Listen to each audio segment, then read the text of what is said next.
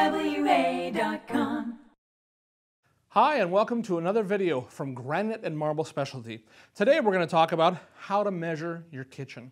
A lot of folks call or they email asking, what do I do? How do I measure my counters? Do I need you to come out or is this something I can do? So, I'm going to show you some really simple tips, basic stuff.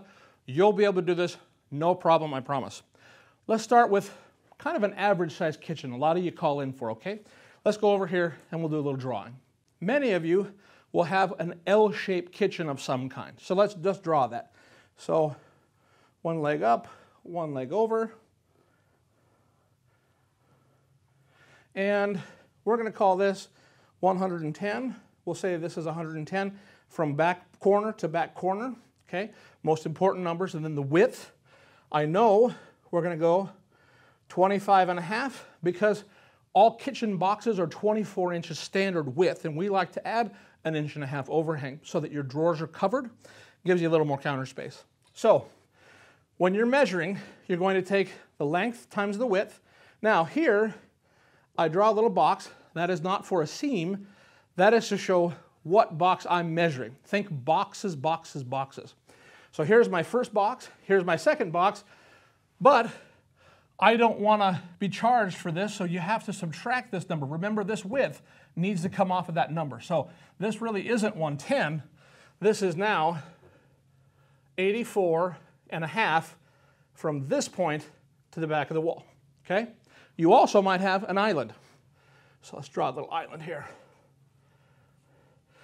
Let's say that's 40 by 55, a good typical size. Let's also include where your refrigerator and your stove might be because we're going to want to know that down the road. So let's say right here is your refrigerator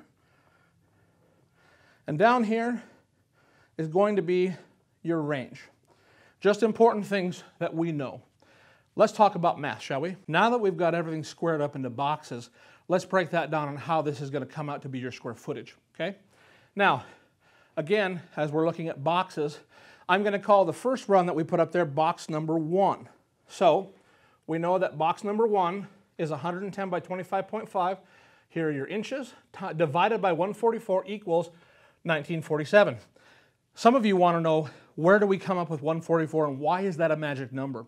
The reason being is 12 inches by 12 inches equals 144. There creates our square foot equation. So that's our magic number. And so as you see with box number one, we're at 1947.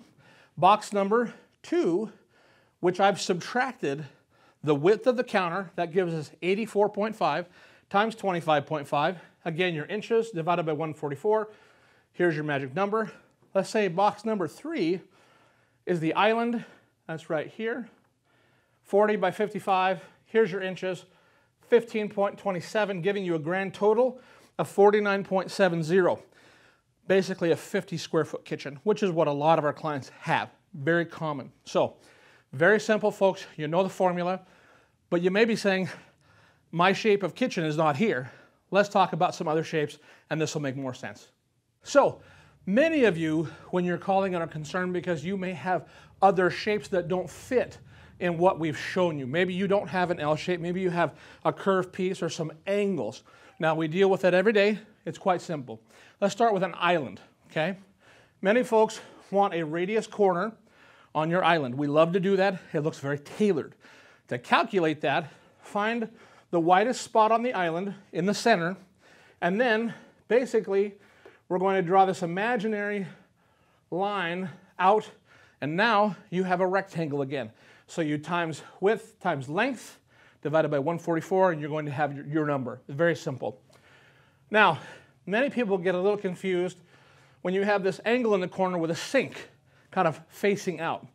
Again, it's all about boxes. Think boxes. Take the long side, and oh, remember how I told you I just draw a little line? That's not a seam, it's just how I measure. So this is going to be one box, and now I do the same here. This is going to be a box, and to be safe, Anytime you have this triangle here, figure that's going to be about 1.5 square feet. So one and a half square feet, you add on top of these, and you're done. Something a little more complicated. A lot of you have these three winged peninsulas or islands. Think boxes. Real simple. This is a box here. This is a box here. This is a box here.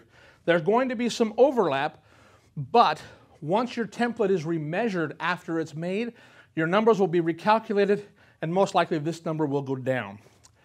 Backsplash. Very popular. A lot of folks want full backsplash. Very simple. Same formula. You measure from corner to corner and then height from the, the base or right where the counters start to the underside of your cabinet. Okay? Same formula. Height here times length divided by 144. You now have your square footage for full backsplash, and the same thing applies to four inch backsplash. Again, corner to corner, height versus width, you have your square footage. I promise there's nothing too complicated you can't do.